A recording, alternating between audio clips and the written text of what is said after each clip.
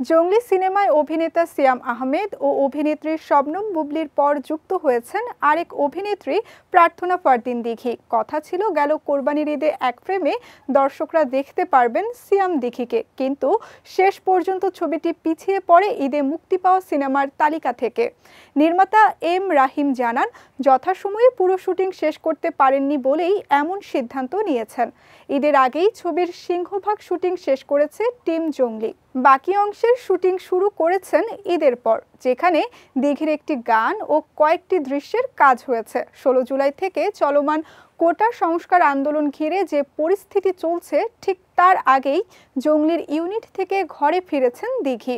বিষয়টি জানিয়েছেন অভিনেত্রী নিজেই। দিঘি বলেন, জঙ্গলি সিনেমায় কয়েকটি সিকোয়েন্স ও একটি গানের শুটিং বাকি ছিল আমার।